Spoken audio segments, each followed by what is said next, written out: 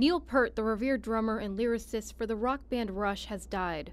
He was 67. Peart passed away on Tuesday in Santa Monica, California. The cause of death was brain cancer, according to his spokesman, Elliot Mintz. In a joint statement released on Twitter, his band wrote, It is with broken hearts and the deepest sadness that we must share the terrible news that on Tuesday, our friend, soul brother, and bandmate of over 45 years, Neil, has lost his incredibly brave three and a half year battle with brain cancer.